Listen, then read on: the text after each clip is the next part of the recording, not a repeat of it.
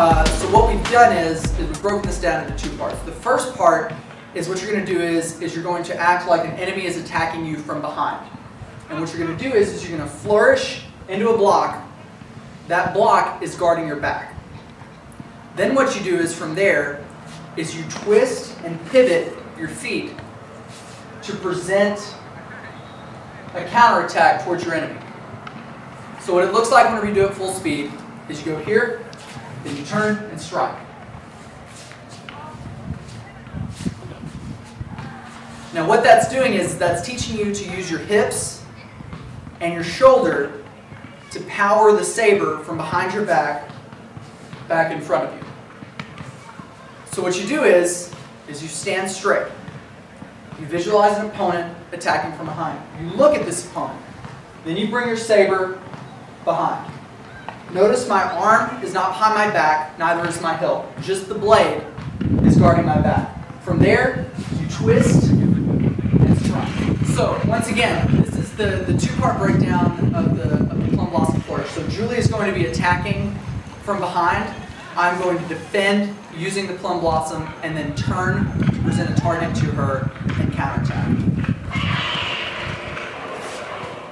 So the block comes here, you push, and then strike. So we'll show that again. The block comes here, push, strike.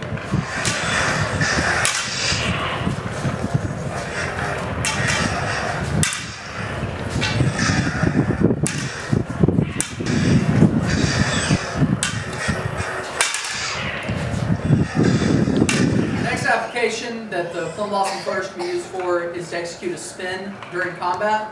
Uh, one of the big uh, disadvantages of turning your back to an opponent is that you have no guard. So whenever I spin, I'm immediately exposed. She can kill me uh, with relative ease. So whenever you do need to spin uh, in your background, what you do is you can use the Plum Blossom Flourish to manipulate your opponent's blade and keep them from hitting you while you spin. So what happens is, is she's in a guard, and I come here to move by. And you can use that to, to close distance or to, uh, or to increase distance.